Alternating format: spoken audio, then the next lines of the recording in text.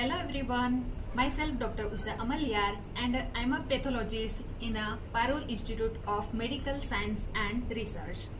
Today I am going to explain the procedure, phlebotomy procedures which is used to withdraw the blood from the vein. Uh, basically in phlebotomy material which required for the procedure here you can see first of all the tourniquet which used for the ligation uh, above the sides and uh, here you can see uh, alcohol swab in which 70% uh, isopropyl alcohol is used and it is used basically for sterilize the area and here the vacuity. Uh, basically we have to follow the order for collection of the blood. First we have to collect the blood in a blue uh, bulb which is also known as a citrate bulb and uh, it is used for the test PT avidity test then second we have to collect the blood in a red color bulb. It is also known as a, a plain bulb and it is used for biochemistry, uh, biochemistry test and serological test. Third the purple bulb. It is also known as a EDTA bulb and it is used for the all hematological test and the last the gray color bulb and it is used for the blood sugar estimation. Now let's see the uh, needle and syringe. Uh, basically in our laboratory we use 2, 5 and 10 ml of syringe and 24 gauge needle. Here you can see the number of the uh, gauge 24 number uh, gauge needle and here the micropore. Uh, now let's see the procedure. First of all, confirm the name of the patient in which we have to do this procedure. Then, wear the gloves and now prepare the syringe and needle.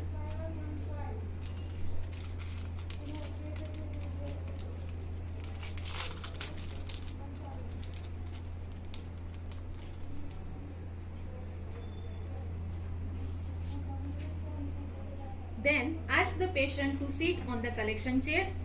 After this, examine the antecubital fossa to see the suitable way. Most common site for venipuncture is cephalic vein. If it is not visible or difficult to trace, then you can also collect the blood from the wrist, ankle and hand veins. Then select the vein for puncture. Now apply the tourniquet 2 to 3 inches above the puncture site.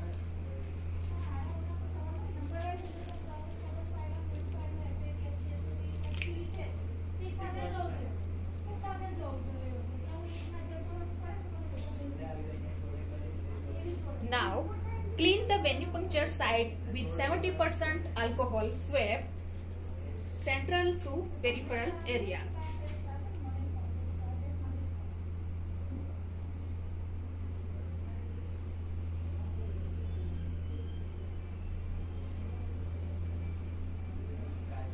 Allow the area to dry and instruct the patient to cleanse his fist.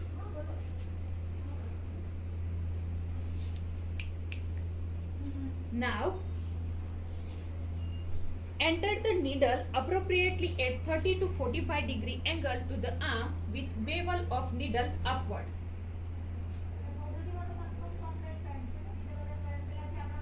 Insert the needle smoothly and fairly fast to minimize discomfort to the patient. Then pull back pistol of the syringe with slow and even tension as blood flows in the syringe.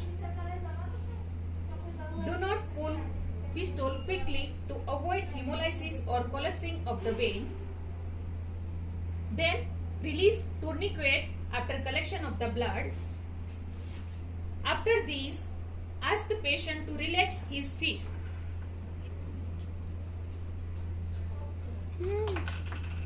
Then ask the patient to release his fist.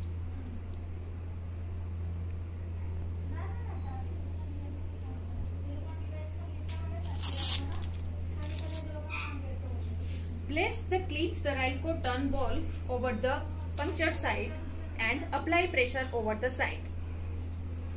Then deliver blood from syringe to vacutainer.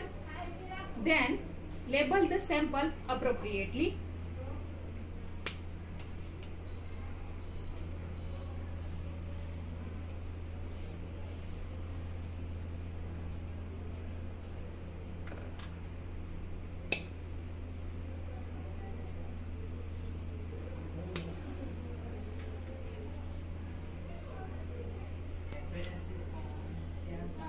Then dispose the syringe and needle in an appropriate way.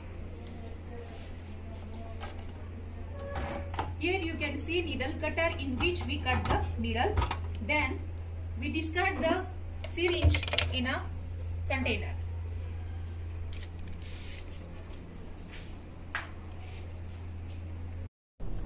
That's all about the procedure, the phlebotomy procedures. Thank you.